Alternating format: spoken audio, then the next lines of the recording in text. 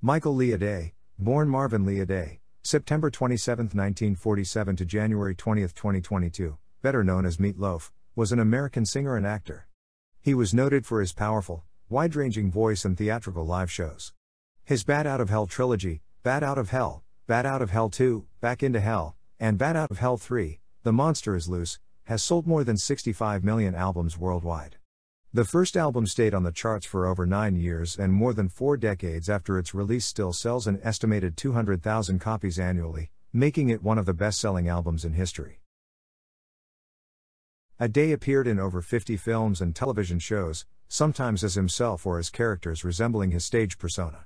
His film roles include Eddie in the Rocky Horror Picture Show, 1975, and Bob Paulson in Fight Club, 1999. His early stage work included dual roles in the original Broadway cast of the Rocky Horror Show, and he also appeared in the musical Hair, both on and off Broadway. Meatloaf died on the evening of January 20, 2022, at the age of 74. He had been seriously ill with COVID 19. He died in the presence of his wife, Deborah, daughters Pearl and Amanda, and close friends. Several musicians, including Bonnie Tyler, Cher and Brian May, posted tributes. Read the complete biography by clicking the link in the description.